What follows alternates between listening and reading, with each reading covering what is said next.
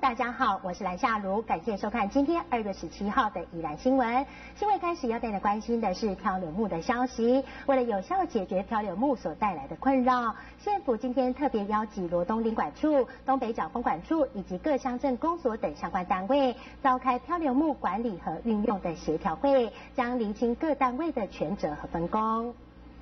防汛期即将到来，为了不让台风或是大雨所带来的漂流木堆满整个海滩，所引发民怨，县府今天特别邀集相关单位召开漂流木管理以及运用协调会，厘清各单位的权责和分工。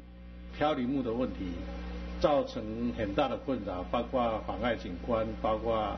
这个呃渔民要去抓鳗鱼都没有办法靠近，包括要休闲。我们的呃民众都没有办法去这个啊到海滩去，呃这个全走的部分呢，我们呃为了预防现在防汛期快来了，所以今天特别邀请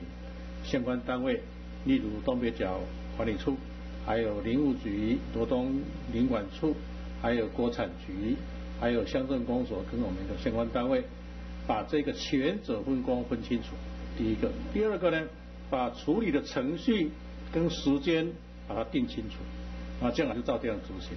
另外，以前掩埋漂流木的处理方式，因为不符合环保概念，今天在会中也加以讨论，并订定出一套标准作业流程，作为往后的处理依据。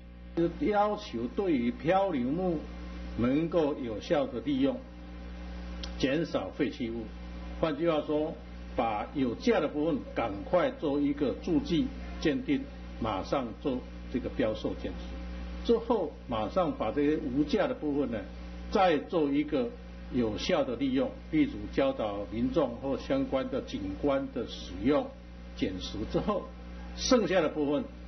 那么以前是用把它掩埋，这个这样不好，我们把它改为要求说，变成把它这一个清理之后，把它二淬变成木屑。可以铺不到铺这个树的头，那么让这个土地的涵养会更好，铺道做起来更舒服。那么这样可以减少废弃物，可以让这一个呃漂流木有效的利用。县府今天再次也呼吁民众，如果喜欢沙滩上的漂流木，千万要注意，一定要经过政府公告后才能够自行捡取，不然会被罚很重哦。宜兰新闻记者赖福兴采访报道。